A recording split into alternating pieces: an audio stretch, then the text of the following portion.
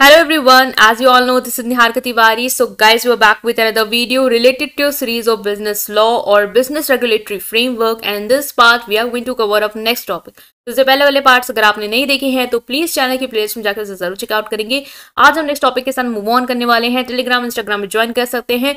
Telegram group है commerce group S W N T so without any further delay let's start this video So now guys in this video we are going to cover this topic that is pledge meaning and essential pledge क्या होता है उसकी meaning क्या है essentials क्या है ये बहुत important topic और easy topic है जो हम discuss करने वाले हैं ठीक है so one by one देखते हैं pledge की meaning देखेंगे सबसे पहले सो so, प्लेज में काफ़ी चीज़ें हैं जो जैसे बेलमेंट हमने पढ़ा। उसी तरीके से ही इसका भी कॉन्सेप्ट है। बस एक चीज़ थोड़ी सी डिफरेंट है जिसकी वजह से आप इसको इस कैटेगरी में डालोगे। तो प्लेज क्या है?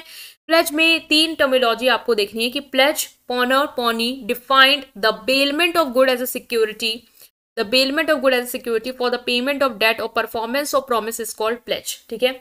जो गुड्स आपके पास बेल्ड किए गए हैं वो एज अ सिक्योरिटी दिए जाते हैं इसमें, ताकि आपका जो डेट है उसकी पेमेंट आपको करनी है परफॉर्मेंस करना है, कोई प्रॉमिस किया है कि हम ये चीज़ करेंगे, उसके भी पे तो हम कहते हैं प्लेज जैसे यहाँ पे क्या होता है ब्लेंडमेंट में क्या होता है कि जो भी गुड्स हैं वो आपको बिल्ड किए जाते थे for the purpose of take care या फॉर द पर्पज ऑफ़ कि उससे मनी जैसे कोई चीज़ आपको लेंड की गई है तो उससे बेलर उस पैसे कमाना चाहता है, इसलिए आपको उसने वो चीज़ उधार में दी मतलब लेंड की है नॉट उधार में दी है, ठीक है? तो अपने पास हायर की है आपने उस चीज़ को तो आप पेमेंट कर रहे हो, या फिर उसने आप टेक केयर के लिए, या सेफ्टी के लिए प्रोटेक्शन के लिए आपके पास अपनी सामान रखा है तो वो होता था। यहाँ पे जो गुड्स हैं, वो सामने वाली पार्टी आपके पास रखवा रही है, इसलिए रखवा रही है कि वो एज अ सिक्योरिटी आपको दे रही है, जैसे उसने आपसे लोन लिया है तो एज अ सिक्योरिटी आपके पास वो चीज़ रखवा रही है कि जब तक वो आपका डेट का पेमेंट नहीं कर देती, या जो भी प्रॉमिस उसने किया है, उसको परफॉर्म नहीं कर देती तब तक आप उस चीज़ को अपने पास क्या कर सकते हो, रख सकते हो। तो ये होता है pledge the bailor in this case is called pawnor and the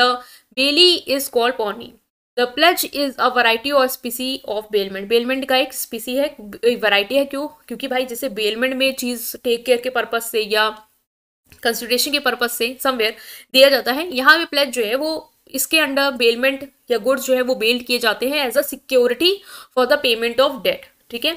It is the bailment of good as a security for the payment of debt और परफॉर्मेंस ऑफ़ प्रॉमिस ठीक है? गुड्स आपके पास बेल किए गए हैं एज अ सिक्योरिटी कि जो date आपसे लिया गया, जो लोन आपसे लिया गया है, उसके बदले आपके पास सामान रखाई गई है और कहा गया है कि आपकी सामान जो है वो हम ले लेंगे और आपका पैसा जब चुका देंगे तब तब तक आपको उस चीज़ को अपने पास रखना है या प्रॉमिस जो किया वो परफॉर्म करने के लिए।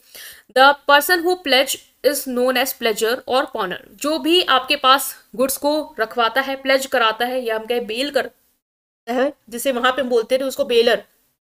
यहाँ पे हम उसको बोलेंगे pledger and the bailee is known as pledgee और ऑल्सो एज पॉनी और जो बेली है, उसको हम बोलेंगे एज अ प्लेजी क्योंकि उसने अपनी चीज़ अपने पास, आपके पास रखवाई प्लेज की है, ठीक है? तो वो होगा प्लेजी या फिर pawnee in pledge there is no change in ownership of the property pledge में ओनरशिप नहीं बदलती। प्रॉपर्टी की। प्रॉपर्टी की ओनरशिप उसी के पास हुई, वो तो बेलमेंट में भी था। प्रॉपर्टी की ओनरशिप नहीं बदलती है। जो बेलर है या जो प्लेजी प्लेजर है, उसने अपनी आपकी अपनी सामान आपके पास रखवाई है बेल की है या प्लेज की है तो वो सामान उसकी ही होगी ओनरशिप उसकी होगी। बस पोजिशन आपको दे दिया कस्टडी आपको दे दी है, ठीक है? उस चीज़ का कंट्रोल आपको दे दिया है। ओनरशिप उसके पास ही रहेगी।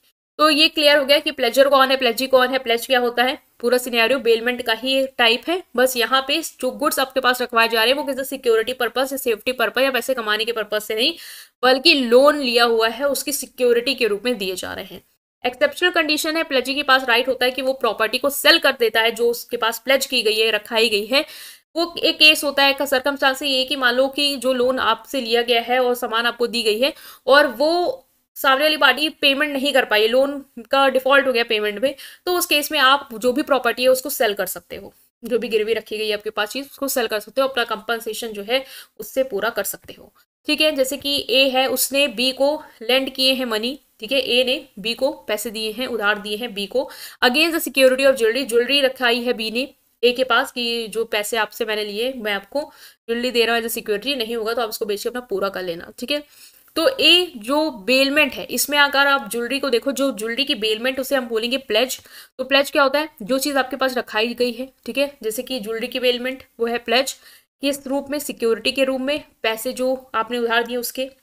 और बी यहाँ पे क्या है? बी यहाँ पे आपका पॉनर है मतलब कि प्लेजर है, जिसने अपनी चीज़ जो है आपके पास रखवाई है। और ए जो है, वो पॉनी है डेट इज़ वो प्लेजी है, ठीक है? उसने आपकी चीज़ अपने पास रख के आपको उधार दी है। तो ये है कि कौन क्या क्या है वो टर्मिनोलॉजी नेक्स्ट है एसेंशियल्स क्या है प्लेज के? Since is is special kind of bailment therefore all the essential of bailment are also the essential of pledge. Pledge भी एक तरीके की बेलमेंट ही है। इसीलिए जो भी आपके बेलमेंट के एसेंशियल्स फीचर्स हैं, वही सारे फीचर या एसेंशियल जो हैं, वो आपके प्लेज के भी हो जाएँगे। ठीक है? तो ये चीज़ तो यहाँ पे क्लियर कर दी गई कि जो भी एसेंशियल वहाँ के, वो यहाँ के हैं। Apart from other essential of pledge इसके अलावा भी जो प्लेज है, उसके कुछ एसेंशियल्स हैं। जो हमें क्या करने हैं यहाँ पे देखने तो उसको देख लेते हैं one by one. First is there shall be bailment for security against the payment और परफॉर्मेंस ऑफ़ द प्रॉमिस मतलब जो भी बेलमेंट हुई है, जो भी चीज़ आपके पास रखाई गई है, वो क्यों रखाई गई है? एज अ सिक्योरिटी रखाई गई है। जो भी आपसे लोन लिया गया, उसके या फिर जो भी आपसे परफॉर्मेंस के लिए प्रॉमिस किया गया, उसके सिक्योरिटी के अगेंस्ट ही आपके पास जो चीज़ है, वो बेल कराई गई है। तो पहला एसेंशियल ये है। दूसरा है subject matter of pledge is goods जो सब्जेक्ट मैटर मतलब जो प्लेज आपके पास बेसिकली जो चीज़ कराई गई है, जो रखाई गई है, वो क्या होगी? गुड्स होगी। जैसे कोई भी मूवेबल टेंजिबल मूवेबल प्रॉपर्टी हो सकती है लाइक ज्वेलरी रखवा सकते हैं स्टॉक बॉन्ड या फिर एनी वैल्यूबल आइटम जो एक तरीके से आप रख सकते हो ट्रांसफ़र कर सकते हो। तो सब्जेक्ट मैटर बेसिकली क्या होगा? गुड्स होगा। दूसरा है तीसरा है आपका existence of goods the goods plus shall be in existence मतलब जो भी चीज़ आपके पास रखाई गई है एज अ सिक्योरिटी वो चीज़ एग्जिस्ट करती हो, ठीक है? जैसे कि आपके पास जैसे ज्वेलरी रखाई गई तो वो बेसिकली एग्जिस्ट करती हो टेंजिबल प्रॉपर्टी वो आप देख सकते हो, वो एग्जिस्ट कर रही है, वो आपके पास रखाई गई है। तो ये है। दूसरा दिया shall be delivery of good from the pledger to the pledgee जो भी गुड्स की डिलीवरी है, वो प्लेजर जो लोन ले रहा है, ठीक है? जो प्लेजर है, वो प्लेजी के पास जो गिरवी रख रहा है, उसके पास क्या करेगा? ट्रांसफ़र करेगा डिलीवर करेगा गुड्स को। तो गुड्स की डिलीवरी होनी चाहिए प्लेजर मतलब पर्सन जो सिक्योरिटी प्रोवाइड कर रहा है टू द प्लेजी जो रिसीव कर रहा है सिक्योरिटी ठीक है? तो ये थे आपके कि क्या क्या एसेंशियल्स हैं। तो ये हमने शॉर्ट टॉपिक में डिस्कस किया कि प्लेज क्या होता है। नेक्स्ट हमने प्लेजर प्लेजी ये सब चीज़ों को डिस्कस किया और एसेंशियल्स क्या है एक प्लेज के। आई होप आप समझ पाए। स्टिल कोई भी डाउट है कमेंट सेक्शन में पूछेंगे। वीडियो को लाइक करेंगे चैनल को सब्सक्राइब करेंगे। Thank you